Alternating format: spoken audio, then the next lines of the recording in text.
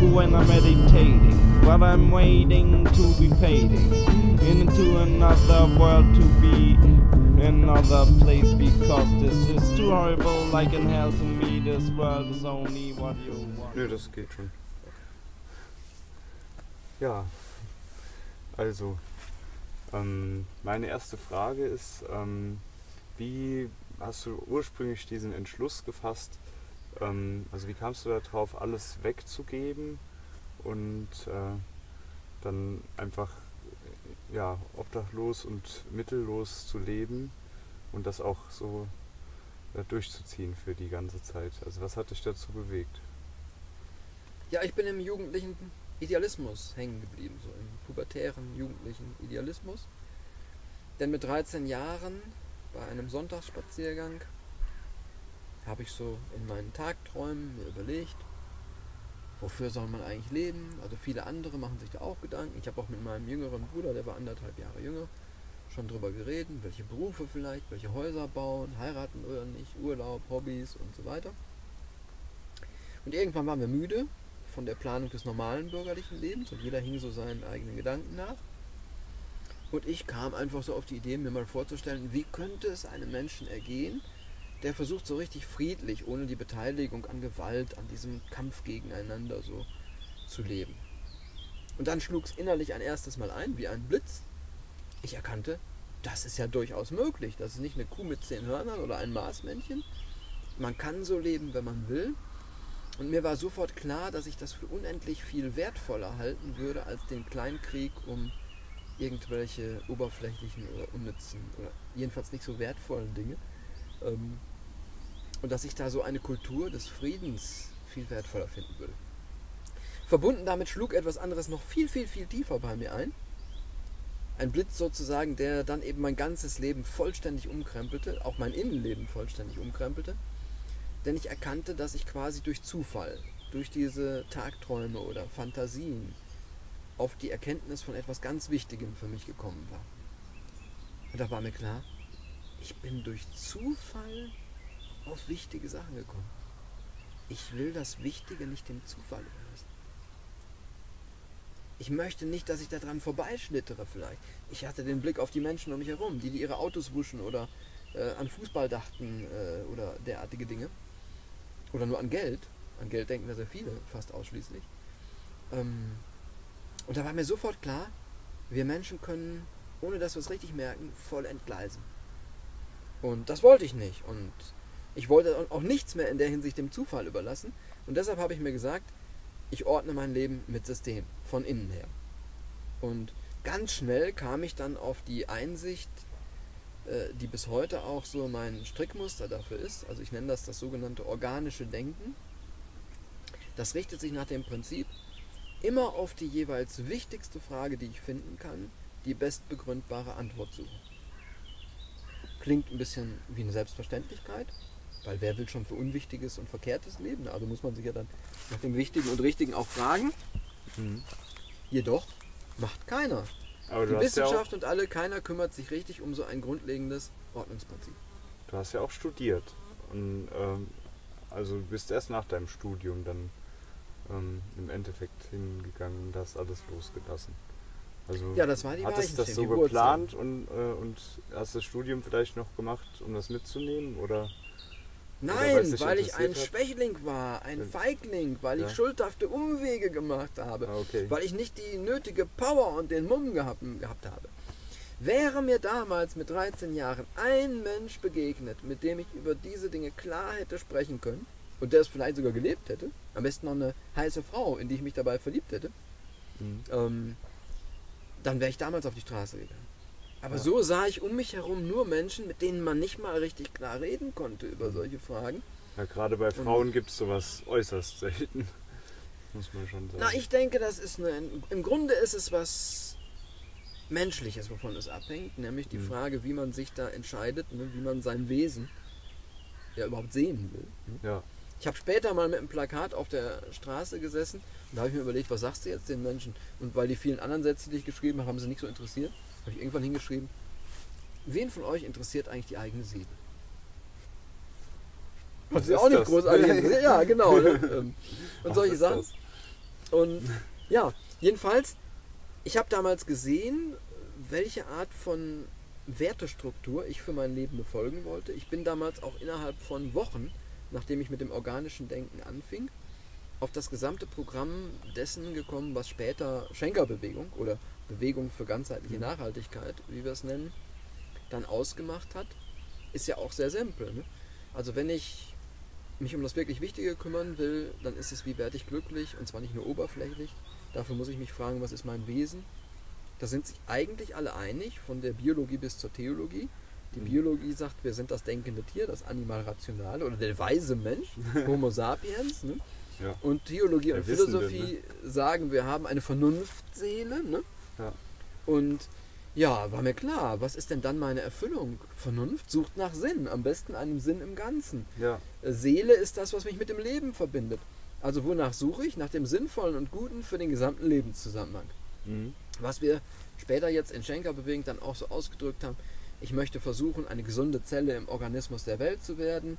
Oder man kann auch sagen, ich möchte zu Menschheitsfamilie werden mit anderen Menschen. Mhm. Menschheitsfamilie oder Menschheitsfamilien, die sich dann in die große Gemeinschaft des Lebens, die Lebewesenfamilie sozusagen einordnen. War mir klar, darauf kommt es an. Mhm. Also Weil wenn wir alles kaputt machen hier, für die mich war das ähnlich, ne? Also ich sehe das ja auch so. Also wenn wir so weitermachen, machen wir alles kaputt, du sagst es.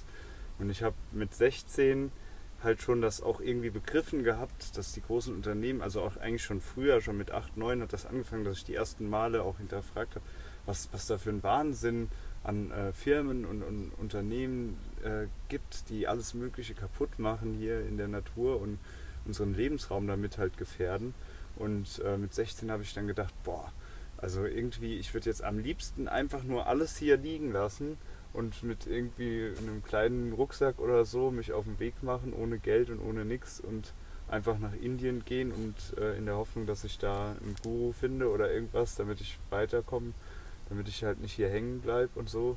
Und ich war auch schon drauf und dran, das zu tun. Aber mein Vater hat die ganze Zeit gesagt, nein, das brauchst du gar nicht erst anfangen, ich schicke dir die Polizei hinterher. Und für mich war das halt dann so, hm, scheiße, wenn ich halt jetzt losgehe, dann werde ich irgendwo, dann bin ich schon weit gelaufen und werde von denen wieder gekascht und mitgenommen. Und da hatte ich keinen Bock drauf irgendwie. Weil ich, also das kann, was ich als letztes ausstehen kann, ist sowas, ehrlich gesagt. Hm, hm. Ja, bei mir war es so. Ich habe mir dann vorgenommen, wenn schon keiner da ist, ne, an dem ich da mich orientieren kann, reden kann oder mitmachen kann. Und ich sehe, dass ich zu sehr jetzt ja, selber noch nicht die Kraft habe, einfach alles alleine anzupacken. Wäre richtig gewesen. Ne? Also rückblickend bin ich der festen Überzeugung, ich hätte mit 13 oder 14 auf die Straße gehen Ja. sollen. Ne? Auch alleine. Habe ich Jahre meines Lebens vergeudet. Ne? ähm, und habe noch nicht Menschheitsfamilie gelebt, die in die Lebewesenfamilie sich integrieren will. Aber ich habe mir zumindest gesagt, ich möchte im Kopf ehrlich bleiben. Ich möchte Ja. ehrlich denken. Ich möchte mich nicht belügen. Ich möchte mich auch nicht von den anderen belügen lassen und reinziehen lassen in so eine heuchlerische, angepasste Soße. Ja. Ähm, Ehrlichkeit. Ehrliche weitere Sinnsuche mit diesem organischen Denken. Ich habe damals schon angefangen, meinen Schenker Grundsatztext, den Öm-Text da zu schreiben. Das erschwert einiges nach meiner Erfahrung. Also ich war auch immer sehr ehrlich und bin sogar äh, dafür, dass ich öf- öffentlich teilweise gesagt habe, äh, dass ich meditiere vor meiner Physiotherapieklasse damals, wo ich in der Schule war, ähm, haben die mich ausgelacht. Was du meditierst, was machst du da? Also ähm, wa warum? Also oder haben irgendwie meint, ja, wie macht man das denn? Und haben sich dann haben das so nachgeäfft und äh, sich über mich lustig gemacht. Und äh, ich habe halt oft gelernt, eigentlich ist Ehrlichkeit manchmal in der Öffentlichkeit ein Nachteil. Aber ich bin trotzdem ehrlich geblieben, auch wenn ich wusste, dass es mir manchmal schaden kann. Weil äh, so hat sich die Spreu auch immer vom Weizen getrennt. Und als ich von der Schule da weg musste, ähm, weil ich da rausgeflogen bin, äh, haben, hat meine Klasse da gestanden und geheult. Ne? Das war zweieinhalb Jahre später. Hm. Und äh, das hat halt auch, denke ich mal, gezeigt, dass es eben nicht darauf ankommt, ob man erstmal gemobbt wird, sondern darauf ankommt, dass man halt bei sich bleibt und seine Art und Weise zu leben weiter durchzieht, auch wenn die vielleicht in diesem System nicht funktioniert oder nicht so reinpasst wie bei allen anderen. Ja, bei mir war es eher so, dass ich zu einem geachteten Außenseiter wurde. Weil, also mein Leben verlief natürlich auch sehr geordnet dann. Ne? Also ich wurde in der Schule zum Streber, weil ich habe geguckt, äh, wie kann ich mich, meine geistigen Fähigkeiten so gut wie möglich ausprägen. Ähm, und war dann bald da so sowas wie ein Überflieger. Gesundheit. Und äh, dann kam dazu, dass ich auch körperlich und äh, hinsichtlich der Selbsterfahrung oder so mich entwickeln wollte, so gut ich kann. Führte als Student dazu, dass ich abends meine 500 Liegestützen am Stück gemacht habe, bevor ich ins Bett gegangen bin. Weil ich wollte mir sicher sein, dass mein Wille der Herr im Hause ist und die Regie auch hat über mein Leben und nicht irgendwas anderes mich fremdbestimmt, weder von außen noch von innen. Mhm. Ich habe die ganzen Sinnlosigkeiten nicht mitgemacht. Ich habe nie geraucht, ich habe nie getrunken, also war nie betrunken. Ab und zu ein Glas Bier ist ja nicht unbedingt gesundheitsschädlich, wenn es da so bliebe. Ähm, ich war bei keinen Partys, ich habe laute Musik gemieden. Ähm, ich habe versucht, mit Menschen nur, äh, wo es ging, sinnvoll zu reden und ähm, da eben auch weiterzukommen. Also ich war auf die Art und Weise ein, kann ich sagen, durchaus geachteter Außenseiter. Meine Familie hat das respektiert, wie ich mich dann entwickelt habe. Also keiner ging mit in Gedanken oder so, aber sie haben das eben so achtungsvoll aus dem Abstand betrachtet und durchaus geschehen lassen. Mhm. Anders war es dann schließlich, als ich nach meinem Studium, was ich auch ehrlichkeitshalber nach ein paar Wochen hätte abbrechen können, weil das ist keine, also ich habe Theologie und Philosophie studiert, weil ich mir dachte, das sind die Wissenschaften, die für die Beantwortung dieser Orientierungsfragen zuständig sind. Die Philosophie für Sinn und Moral, ungebunden an irgendwelche Religionen und christliche Theologie, habe ich studiert, weil es eben da innerhalb des religiösen Kontextes um die Beantwortung dieser grundlegendsten Fragen ja eigentlich gehen müsste. Die, die Nacht war lang, tut mir leid. Überhaupt kein Problem, überhaupt kein Problem. Und dann war es so, dass ich eben gesehen habe an der Universität, das wird nicht wirklich ernsthaft verfolgt, Mhm. sondern das ist ein bezahltes Geschäft mit Bildungswissen. Den Leuten sind die bürgerlichen Berufe viel wichtiger, als da jetzt irgendwie zum Überzeugungstäter zu werden und aus den Grundstrukturen auszuscheren. Ja, das sind so feste Schemata, die da unterrichtet werden, denke ich mir mal. Ich war zwar nie an der Uni, aber ich kann mir das halt schon vorstellen, dass das sehr strikte Strukturen irgendwo auch sind. Und wenn man nicht einen guten Tutor hat, dann äh, kann es halt gut sein, dass es auch sehr langweilig wird. Ja, also mit den Schemata, das glaube ich noch nicht mal. Ich glaube nur, dass die Leute auch da sogar, wo sie wertvolle Inhalte behandeln, sie nicht ernst nehmen im Sinne daraus ein Lebenskonzept zu machen. Mhm. Ähm, also ich konnte dann, indem ich einfach selber mir mein Programm gestaltet habe und, und da dann zum Teil gegen Widerstände auch, auch durchgesetzt habe. Ich nenne ein Beispiel. Ich habe meine Abschlussarbeit im Studium über Mahatma Gandhi geschrieben im Fach katholische Theologie. Und war Gandhi ein Hindu. Das hat mich einiger Überzeugungsarbeit äh, bedurft, dass ich dem äh, Professor für christliche Gesellschaftslehre Oh erklären konnte, dass ich über Gandhi schreiben wollte. Ich habe einfach gesagt, Sie haben doch Ihr Forschungssemester letztens in Südafrika gemacht. Da hat Gandhi mit seinem Wirken angefangen. Das ist doch eine tolle Brücke und so. Ne? Und ich nehme noch mit rein, welche Wirkung er auf Christen hatte. Und so konnte ich das hinbiegen, dass er das geschluckt hat. ne? Er war nicht begeistert von der Arbeit, aber er hat es geschluckt. Also insofern gegen gewisse Widerstände konnte ich mich damit Inhalten beschäftigen. Ich habe die Originalliteratur von Gandhi gelesen, bis meine Eltern mir Augentropfen kaufen mussten, äh, weil ich die Nächte durchgemacht habe und dann meine Augen so rot unterlaufen waren und sowas, dass das eben nicht mehr ging. Ähm, also man kann natürlich da, indem man so sein Programm sich selber macht und äh, da das Beste rauszuholen versucht, kann man das machen. Aber dafür hätte man die Uni nicht gebraucht, dafür hätte man die Jahre nicht äh, quasi wegschmeißen müssen, die auf der Straße im Leben, also mit denselben wirklich wesentlichen Inhalten, äh, sich hätten beschäftigen können und da eine Weiterentwicklung gebracht hätten. Ich hätte die Bücher auch mitnehmen können im Rucksack. Mir immer mal wieder eins leihen lassen können oder so. Aber gut, das war das. Die, der große Widerspruch kam erst, als ich meine Berufsausbildung quasi fertig hatte, das Studium, und gesagt habe, ja, also Jesus hat aus meiner Sicht schon in vieler Hinsicht das Richtige auch gesagt. Kann man das heute, also auch wenn die anderen es nicht machen, kann ich heute ein solches Modell leben? Das habe ich auch die Kirche gefragt. Habe gesagt, kann ich in die Gemeinden gehen und kann sagen, Jesus war für Dienen statt Herrschen. Jesus war für geschwisterliches Teilen, liebevolles Schenken statt Abrechnerei miteinander. Ja. Kann ich hingehen und kann ich solche menschheitsfamiliäre Gemeinschaft ganz im Sinne von Jesus tatsächlich umsetzen? Und dann hörte ich, dass der Direktor dieser Priesterausbildung dann mich beiseite nahm und mir sagte, ist ja toll, Herr Wagner, wie Sie sich beschäftigen mit solchen Gedanken wie Gewaltfreiheit, Liebe und so weiter unter den Menschen und Gandhi. Aber ich muss Ihnen sagen, dass Sie mit diesen Einstellungen nicht zum Priester geweiht werden.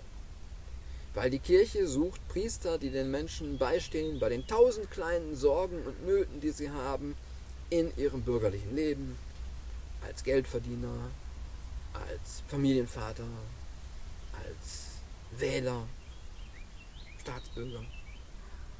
Und die Kirche möchte keine Priester, die hingehen und den Menschen erzählen wollen, dass diese Grundstrukturen, das Geld verdienen, die eingeengte Kleinfamilie und äh, das staatsbürgerliche Leben, äh, dass das äh, grundlegende Fehler sind, Fehlstrukturen.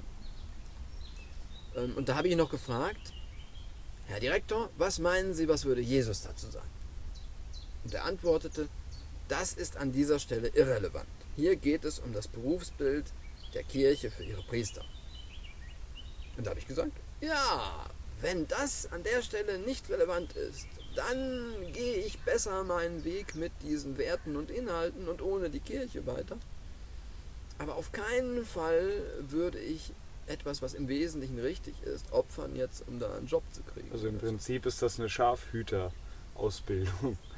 So, ich hüte die Schafe des Volkes, damit die auch schön ruhig bleiben und schön weiter im Staatssystem ja. äh, in, den gegebenen Strukturen, sage ich mal, mitlaufen. ja, ja. Äh, Und Also- darf da äh, weiter mitmachen und erteile immer schön die Absolution, damit äh, man dann auch mal ein bisschen über die Stränge schlagen kann, wenn man sich ja sonst nicht frei fühlt, sozusagen. Oder? Ja, jedenfalls sind wir ja sehr, also im seelsorglichen Bereich, auch was psychologische Gesprächsführung, Einfühlsamkeit und so weiter angeht, sind wir da ja ausgebildet worden. Ähm, es war durchaus so, dass manche von den Theologiestudenten auch von der freien Wirtschaft dann angeheuert wurden, so als Personalmanager oder ähnliches. Durchaus im Sinne, dass es den Leuten gut geht, auch wenn vielleicht die Gehaltserhöhung nicht gewährt wird oder so, ne, oder dass das da ersetzt werden kann. Ähm, also es gibt schon Funktionen, in denen so ausgebildete Menschen wirklich auch als Beihelfer fürs Opium, fürs Volk eingesetzt werden können. Ja, natürlich. Aber das führt jetzt zu weit. Ähm, Nochmal zurück auf, die, äh, auf diesen Ort hier. Ja. Also das ist eine Wiese, die ist entstanden ähm, dadurch, dass... Weil Gott sie geschaffen. Nein, ich meine äh, dadurch, oder ich sag mal, das Projekt hier, das hast du ja ins Leben gerufen. Im Prinzip. Oder... Mit anderen gemeinsam. ja, Also ich bin hergekommen, das war ich glaube 2011, habe dann hier ein paar Leute auch kennengelernt. Vor allem war meine Bezugsperson dann erstmal der Udo Wirlemann, ein Transition-Aktivist, der dann auch den Bezug hier zur Wiese hatte. Den habe ich ja gestern auch schon kennengelernt, vorgestern. Ja. Und ähm, Ende 2012 haben wir uns dann bei einer Infoveranstaltung zusammengesetzt, auch mit dem Vorstand der Transparek-Genossenschaft, die der Besitzer dieses Grundstücks ist, im bürgerlichen Sinne. Und ähm, da war diese Idee schon mal da, hier die Wiese zu nutzen für so ein Pilotprojekt, ein Modellprojekt für ganzheitliche Permakultur. Permakultur ist bekannt als Methode, mit Gartenbau oder Landwirtschaft umzugehen, im Sinne so naturintegriert wie möglich, so naturnah wie möglich.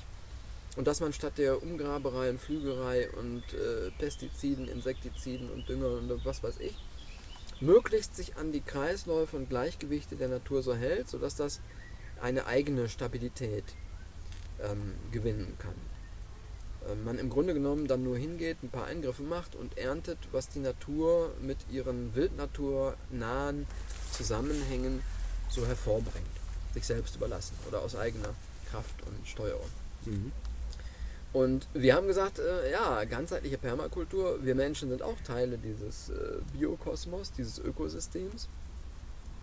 Wir müssten uns fragen, nicht nur, was ist eine permanente Kultur, Permakultur, bezogen auf die Pflanzen und Tiere, sondern was bedeutet permanente Kultur, dauerhafte Kultur, nachhaltige Kultur, auch bezogen auf die Integration des Menschen. Was bedeutet es für seine Spiritualität, sein Sozialverhalten, für die politischen und ökonomischen Strukturen? Das müsste eigentlich alles auch mitbedacht werden, um wirklich zu überlegen, wie kriegen wir eine dauerhafte, dauerhaft lebensfähige Kultur hin. Also in dem Sinne sollte das hier für solche ganzheitliche Permakultur schon sein. Und dann kam Ende 2014, Anfang 2015 noch ein Impuls dazu, dass nämlich das Mainstream TV groß ansetzte, Sat 1 mit einer Sendung, die wollten sie erst Utopia nennen, nannten sie am Ende Newtopia, wo sie gesagt haben, das ist jetzt das, was die Welt gerade braucht, die größte Sensation auch der Fernsehgeschichte. Wir geben Menschen die Möglichkeit, die Welt nochmal neu zu entwerfen. Wir setzen welche auf eine Wiese und sagen denen, nichts ist euch vorgegeben. Ihr seid völlig frei. Auch Regeln gibt es nur, soweit ihr sie euch gebt. In Amerika, die gingen bei der Werbung für Utopia sehr weit. Ne? No state, no religion, no difference between rich and poor and, and so on. Ja.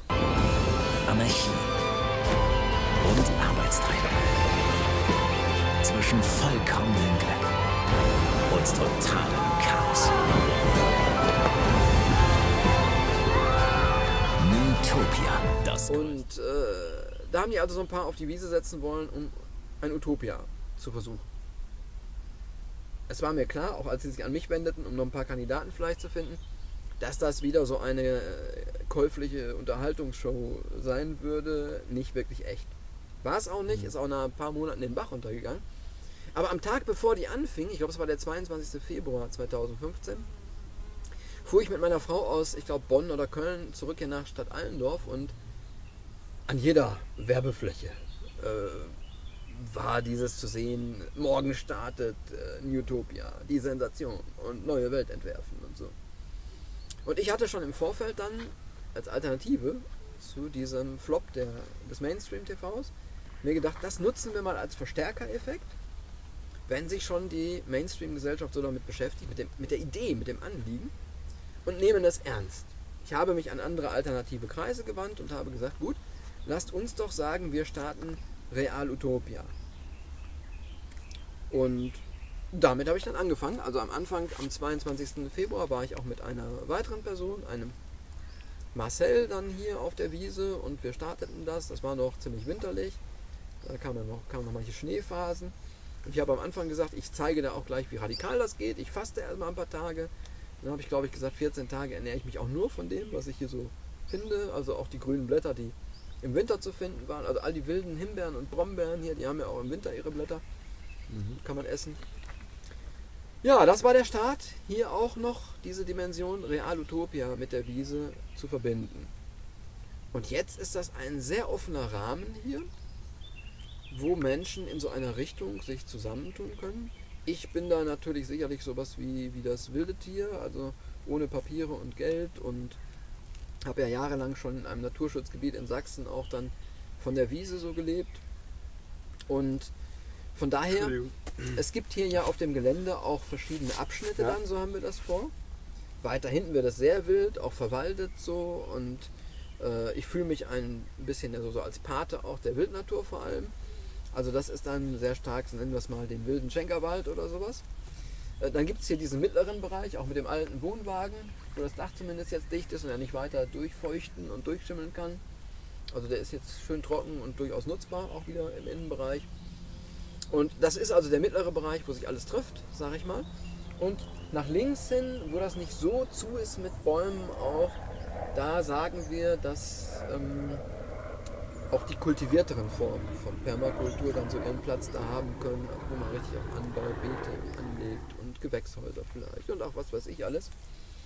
Und da, da ist auch schon ein bisschen was geschehen. Da haben einige Leute schon angefangen, Terrassenbeete anzulegen und Hochbeete und so. Und ja, und im Scherz sage ich noch immer, und ganz links am Rand kann dann das Raumschiff stehen, weil man könnte uns auch ein bisschen so sehen wie Botschafter aus dem 24. Jahrhundert.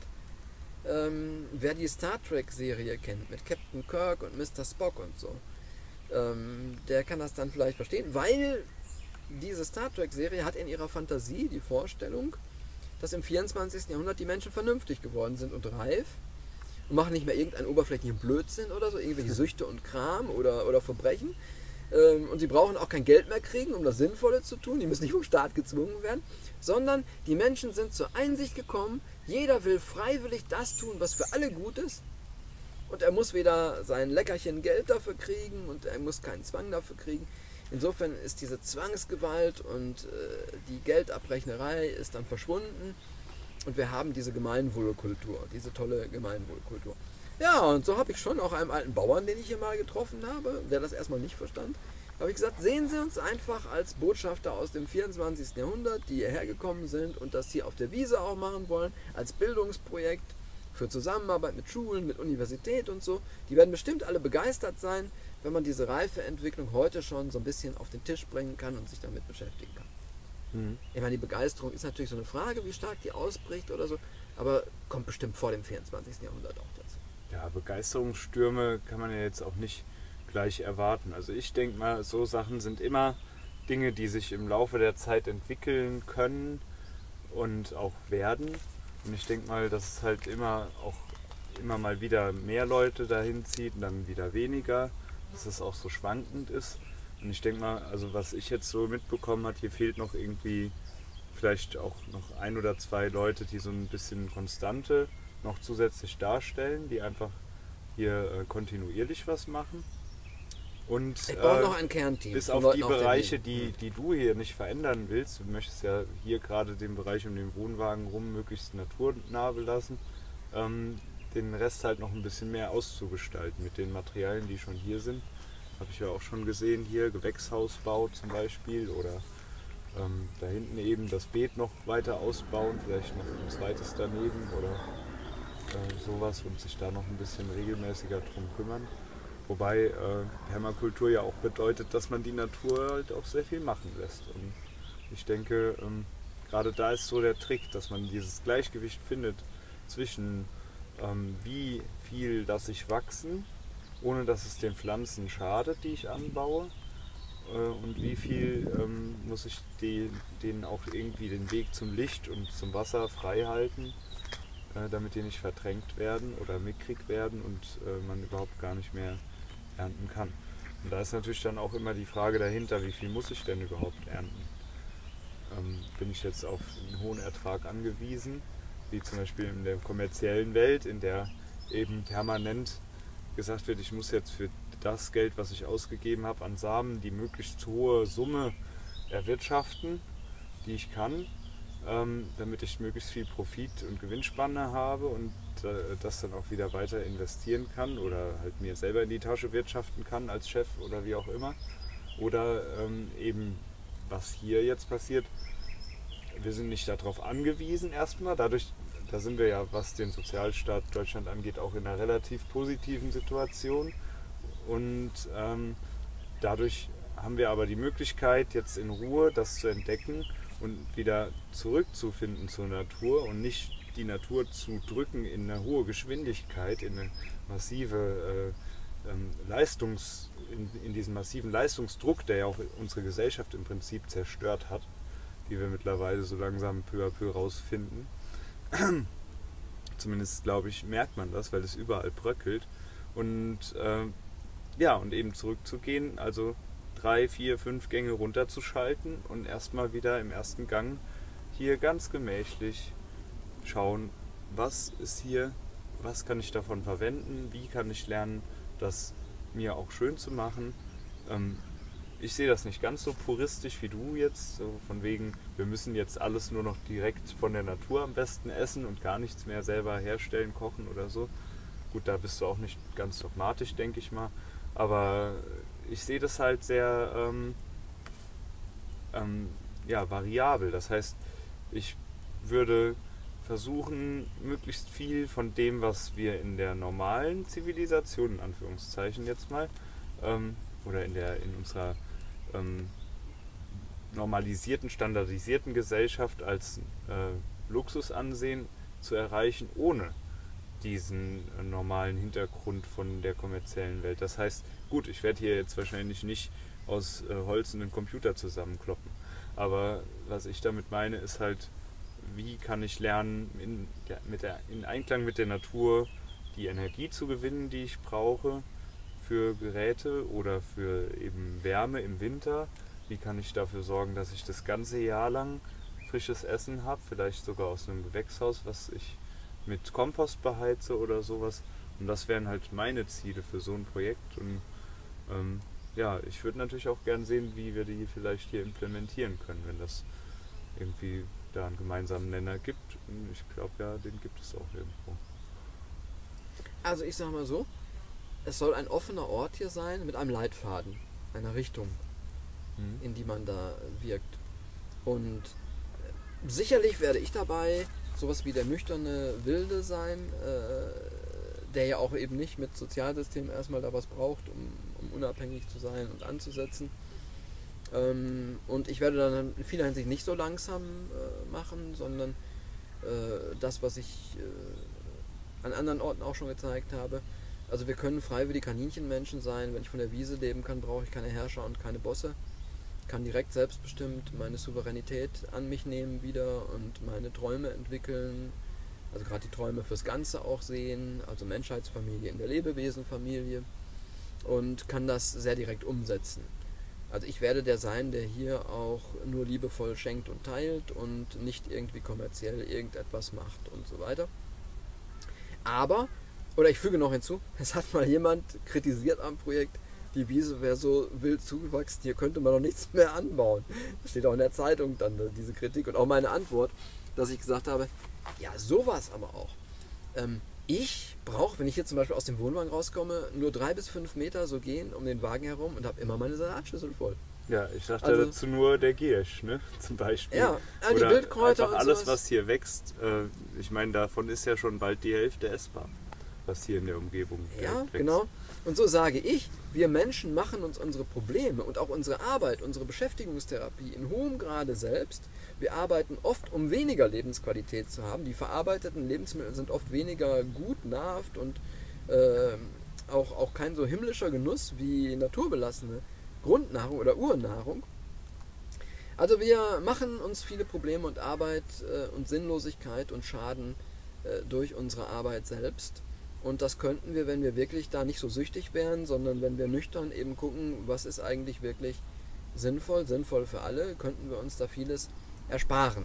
Aber ich sag mal so, diese hohen Werte, Utopia, Realutopia, die Menschen, die ganzheitliche Permakultur leben, die hier ein, eine Welt, die gut ist für alle, dann vor, modellhaft vorbauen, ähm, diese Richtung wird sicherlich dann hier, so ist es beabsichtigt, in verschiedenen Stufen und Gestaltungsformen umgesetzt. Ich habe schon gesagt, vom Wildwald und ich stelle mir vor, dass dann da so ein Paradiesgarten auch bei sein kann, dass man durch Anbau alter Obstbäume erreichen kann, dass man auch im Winter einfach die Äpfel direkt vom Baum nimmt, also auch äh, Bäume, die im Januar, Februar die Äpfel tragen, sodass man dann gar nicht mehr Lagerung, Verarbeitung, äh, Gewächshäuser und so weiter bräuchte, sondern einfach durch den Paradiesgarten auch eben ständig nur erntet quasi.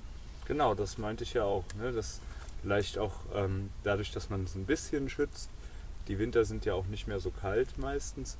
Ähm, kann man ja vielleicht auch manche Dinge das ganze Jahr über anbauen. Es gibt ja auch Wintersalat. Ich bin da jetzt noch ganz am Anfang, blutiger Anfänger, was äh, Anbau angeht. Aber ich denke mal, ähm, hier wäre vielleicht ein guter Platz, um das halt weiter auszuprobieren und zu lernen oder halt auch gemeinsam irgendwie da äh, Ziele zu erreichen. Und ich denke mal, dass, äh, dass das auch möglich ist. Und ich denke mal, was auch, was hier noch auch gut kommen würde, wäre einfach so ein, zwei Plätze, ähm, die man, die sich noch ein bisschen mehr so nach zu Hause anfühlen. Also ich meine, jetzt ist hier der Wohnwagen und das Baldachin, aber vielleicht wäre es auch schön, noch eine, eine Art Baumhaus zu haben. Oder ähm, irgendwas, was äh, nochmal so, so, äh, so eine Art Küche oder sowas. Ne? Ich meine, nicht jeder ist so, dass er jetzt das Essen ganz unverarbeitet essen will. Ich bin selber leidenschaftlicher Koch. Ähm, ich koche gern ayurvedisches Essen und ähm, was, ich, was mich interessieren würde, wäre, was kann ich aus den Pflanzen, die hier überall wachsen, auch die Wildpflanzen, ähm, vielleicht kochen, was nahe dem kommt, was ich aus dem Supermarkt bekomme, wenn ich ayurvedisch koche. Und, äh, und trotzdem ähnliche oder diese Rezepte dann wieder ähm, ja, nicht unbedingt nachzumachen, aber eben ein ähnliches Ergebnis zu erzielen, das dann auch lecker schmeckt und wo man halt sagt, okay, ich habe nicht das Gefühl, ich muss jetzt auf was verzichten, nur weil ich jetzt aus äh, dieser Wiese lebe oder weil ich sehr nat oder naturnäher lebe. Ja, wie gesagt, es wird hier verschiedene Stufen und Gestaltungsformen geben. Ich selber lebe ja auch äh, nicht nur jetzt hier auf der Wiese und nicht nur jetzt von den Wildkräutern. Ähm, ich lebe aber so, also ich sage mal so, der, der entscheidende Punkt ist aus meiner Sicht nicht die natürliche Selbstversorgung. Das haben die Urvölker bewiesen, das beweisen auch heute noch lebende Naturvölker. Ähm, da muss man nicht unbedingt etwas nachweisen, etwas beweisen, um äh, zu zeigen, dass das geht. Aber also es ist trotzdem wertvoll auch, ne? auch wertvoll für diese Rückkehr zur Natur, eigene Naturgesundheit und Kraft und es ist wertvoll, um da eben eine Basis für Souveränität zu kriegen, für Unabhängigkeit und Selbstbestimmung. Aber es gibt etwas anderes, was noch nicht bewiesen ist in dieser Weise. Und das ist der Kernfaden in meinen Augen. Ob wir Menschen eine Verantwortungsreife und ein Verantwortungsbewusstsein fürs Ganze entwickeln können, auch miteinander, auch in Sozialstrukturen, ähm, wodurch wir global verantwortlich miteinander planen können. Diese Fähigkeit der Menschen, zur global verantwortlichen Planungsgemeinschaft oder Planungsfamilie zu werden, das ist nur sehr begrenzt bewiesen, beziehungsweise steht in der Gefahr, dass da eben gesagt werden kann, ja, vielleicht bei einigen Naturvölkern, die auch noch nichts anderes konnten, aber sobald der Mensch da in die Gier und in die Sucht und in den Fortschritt, den sogenannten, kommen kann, Apropos Sucht. funktioniert das dann nicht mehr. Das Problem ist ja, ähm, oder, oder eigentlich die Lösung ist eigentlich, dass wir, wir sind, befinden uns in einem ständigen Bewusstseinsentwicklungsprozess und wir müssen halt jetzt es schaffen, diesen Bewusstseinsentwicklungsprozess von der Fantasie und dem Computer auf äh, die Realität umzusetzen. Weil viele haben, wie ich das schon jahrelang verfolgt, hatten aber kaum Möglichkeiten. Und äh, hier ist zum Beispiel so ein Ort, wo das jetzt äh, anfängt, wo man das jetzt starten kann oder das jetzt auch schon angefangen hat, dementsprechend, was ich auch noch zeigen werde. Und äh, das ist einfach eine gute Sache und sowas sollte man einfach noch wiederholen oder in anderer Form gibt es das ja auch schon in Form von Gemeinschaften. Aber wir müssen Ja, jetzt abbrechen ja. wegen dem Regen. Also Nein, brauchen wir nicht, weil wir sind ja nicht aus Zucker. nein, aber Also- das Ding da. Aber Dieses Scheißgerät ist aus Zucker. Gut, Deswegen müssen dann- wir jetzt, äh, was das angeht, abbrechen. Gut, dann sage ich mal als Schlusswort eben noch, es gibt ja diese Stufen, es können ja die Raucher sein noch, die, die das noch nötig haben, die, die zum Teil noch mit Geld umgehen, Leute, die noch viel Spaß dabei auch haben müssen im Sinne von Geselligkeit, miteinander was trinken und was weiß ich. Kann es alles auch geben. Und auch der mittlere Bereich hier vor dem Wohnwagen, da ist es durchaus möglich, dass da noch mehr die Wildkräuter weggemacht werden. Ich habe ja gesagt, der, der wilde Schenkerwald ist dann mehr in der Richtung und hier im mittleren Bereich kann das auch kompromisshaft so miteinander gestaltet werden. Ähm, da ist vieles möglich und können hier Menschen, die in einer solchen Richtung auf die gemeinsame Verantwortung fürs Ganze, auf Menschheitsfamilie, die sich in die Lebewesenfamilie wieder zurückfinden will, können hier miteinander wirken und können gucken, ob ein Realutopia entstehen kann. Guckt, der Regen hört auch schon wieder auf.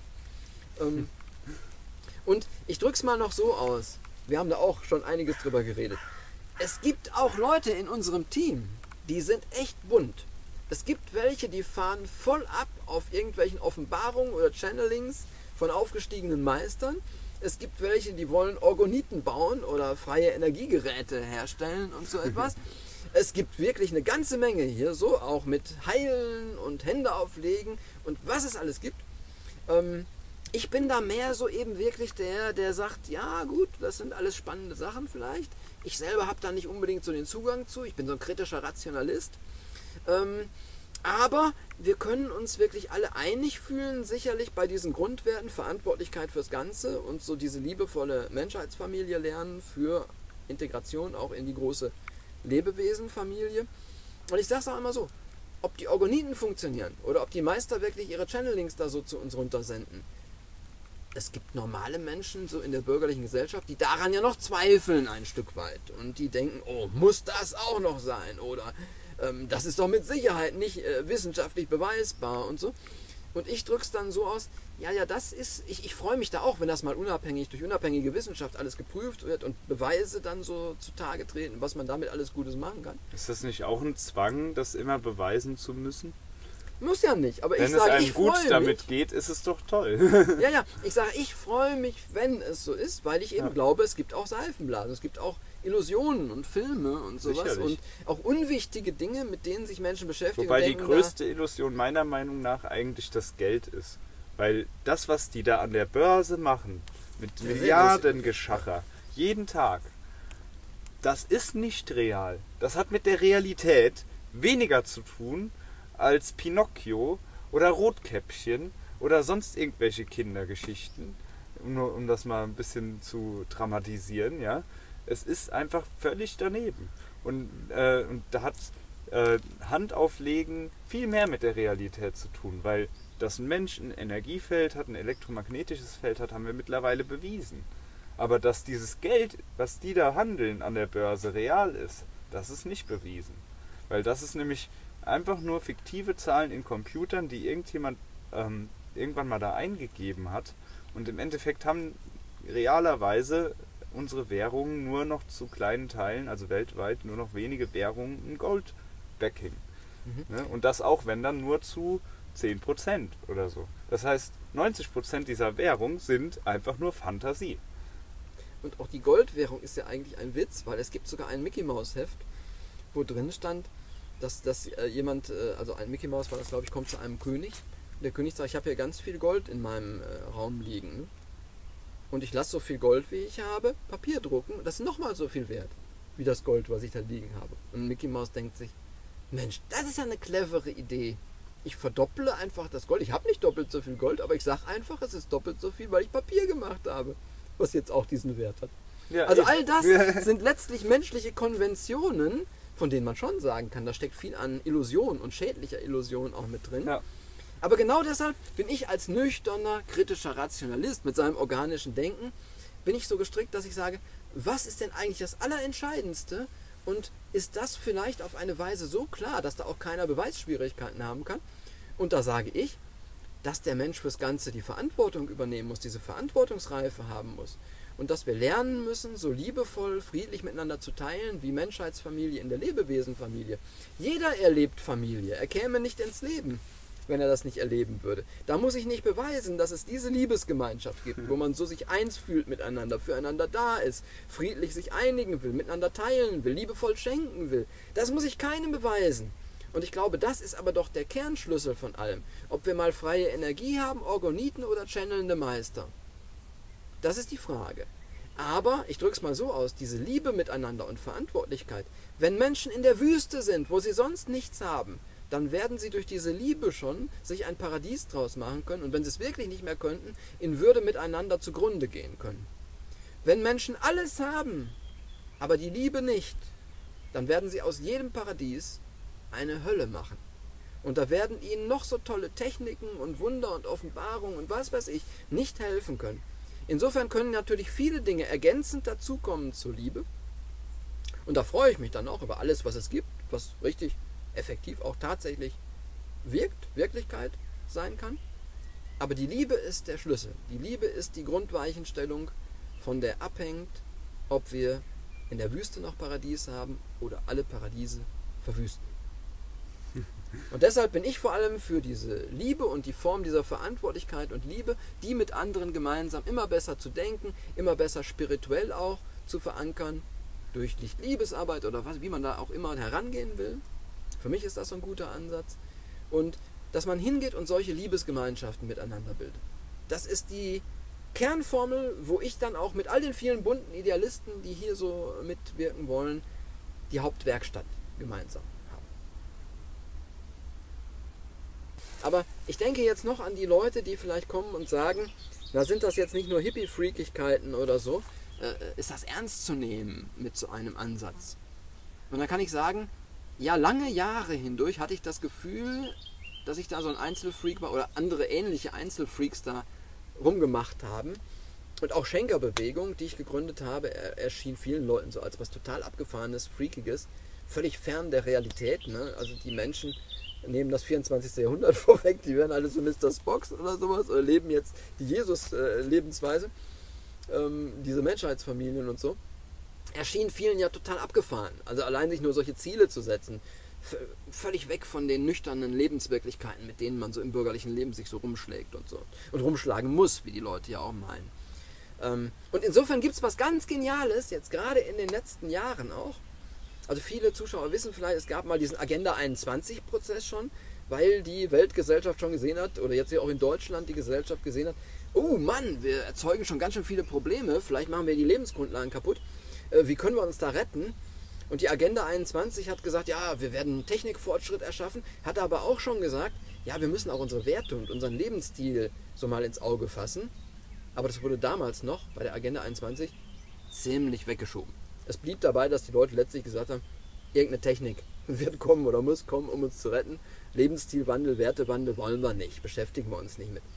Und nicht nur für mich war das frustrierend, sondern nach also dem gescheiterten Umweltgipfel, den es da gab, ähm, haben sich dann einige zusammengetan, prominente Leute auch, und haben eine Initiative ins Leben gerufen, die mittlerweile auch gewissen Raum gewonnen hat. Und zwar ist das die Erdcharta-Initiative, wo Gorbatschow, der Dalai Lama, äh, Jane Goodall heißt sie, glaube ich, diese Affenforscherin und äh, Leonardo Boff, der Befreiungstheologe, sich zusammengetan haben und sie haben in Gesprächen weltweit haben sie einen Werte, eine Wertekarte aufgestellt, diese Erdkarte, die versuchen will, die Lücken der Werteorientierung der Menschheit zu schließen. Denn im letzten Jahrhundert hat es zwar die Vereinten Nationen schon gegeben und die haben ein paar Wertekartas so aufgestellt, die UN-Charta oder die Allgemeine Menschenrechtscharta. Aber die UN-Charta hat sich überwiegend mit dem Verhältnis zwischen den Staaten beschäftigt und die Menschenrechtscharta überwiegend mit dem Verhältnis zwischen dem einzelnen Menschen und dem Staat. Da stehen auch einige gute, grundlegende Weichenstellungen schon mit drin. Artikel 1 zum Beispiel. Alle Menschen sind frei und gleich an Würde und Rechten geboren. Sie sind mit Vernunft und Gewissen begabt und sollten einander im Geiste der Geschwisterlichkeit begegnen. Also da könnte man auch schon diesen Ansatz der Menschheitsfamilie fast drin sehen. Aber es fehlen halt viele Bereiche noch im Zwischenmenschlichen und der Umgang mit der übrigen Welt, mit der Natur, mit den Pflanzen und Tieren, große Leerstelle. Da hat man sich gar nicht eigentlich richtig mit beschäftigt. Und die Erdcharta-Initiative, die Leute wie Gorbatschow, Dalai Lama und so weiter, haben gesagt, wir brauchen jetzt einen Lückenfüller. Wir brauchen es, dass da eine Werteorientierung entsteht, die auch für den Rest des Zwischenmenschlichen und den Umgang mit der übrigen Welt eine gemeinsame menschheitliche Werteorientierung darstellen kann. Und ihr glaubt es nicht, was steht als Kernmotto oder als Kernrichtung in dieser Erdkarte drin? Wir müssen endlich anerkennen, dass wir eine einzige Menschheitsfamilie sind, auch bei allen tollen Unterschieden, die wir so haben, eine einzige Menschheitsfamilie und dass wir lernen müssen, uns in die große Gemeinschaft des Lebens der Erde, was ich gerne eben Lebewesenfamilie nenne, harmonisch zu integrieren. Also, diese Kernorientierung ist nicht mehr nur die Sache von ein paar Freaks, sondern mittlerweile, auch die UNO hat das teilweise anerkannt, äh, die UNESCO, es ist in die Bildungsarbeit eingegangen, es gibt Material für Schulen, was hier in Deutschland dann gestaltet wird, im Rahmen auch der Erdcharta-Orientierung. Es gibt Städte in Deutschland, die anfangen, sich als Erdcharta-Städte zu definieren und so weiter und so fort. Das heißt, es fängt an. Es ist auch eine unverzichtbare Entwicklung. Wir brauchen das unbedingt, wenn wir an die Kinder der Zukunft ausreichend denken wollen. Und insofern, ich kann vielleicht noch sagen, Schenkerbewegung würde zu dem, was auch die Erdkarte da an Orientierung jetzt geben will, noch ein bisschen vielleicht hinzufügen, dass man diese Kernstruktur, was heißt eigentlich jetzt menschheitsfamiliäres Zusammenleben, ein Zusammenleben, was ja nicht mehr durch Gesetzbücher und Geld geregelt wird, sondern durch Liebe, durch Einheit miteinander. Da kann Schenkerbewegung vielleicht noch hinzufügen, dass wir uns gerade mit dieser Kernstruktur seit nun 26 Jahren so vor allem beschäftigen und äh, ja, da die Hauptzielrichtung haben.